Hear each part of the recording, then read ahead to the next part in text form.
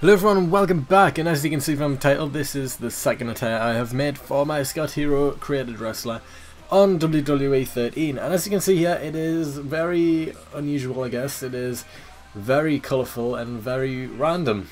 Um, yeah this is an attire I just I don't know really how I thought of it it was just like yeah let's just throw in a bunch of random words in different colours put them on a paint tool and voila that is what happened uh, the Care Bears puked all over my CAW and that is what came out. And yeah, I actually really like this attire.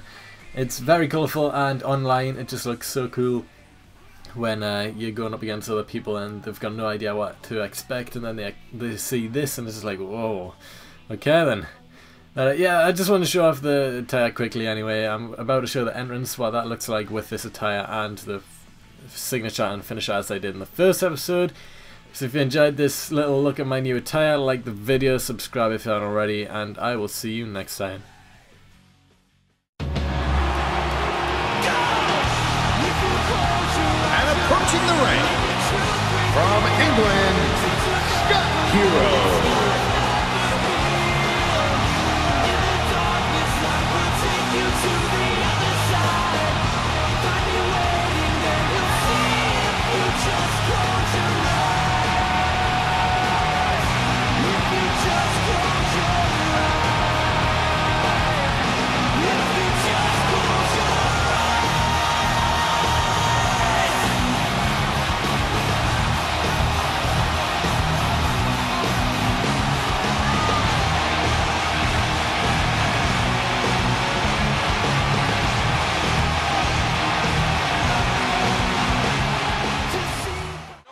There.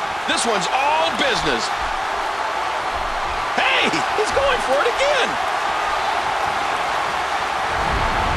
And Hero gets all of it. He's heading back up. Oh, no. Not this. He's looking at it again.